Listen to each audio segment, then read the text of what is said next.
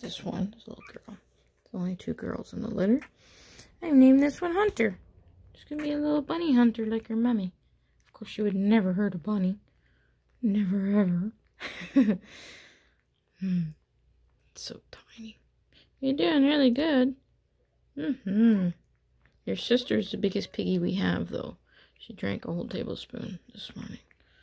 Yeah, she's a little bit of a piggy wiggy.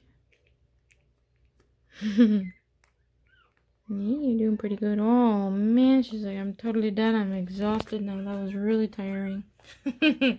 I'd like to go back down and see Mommy. Let me see how much you drank. Mm, not as much as I'd like to see.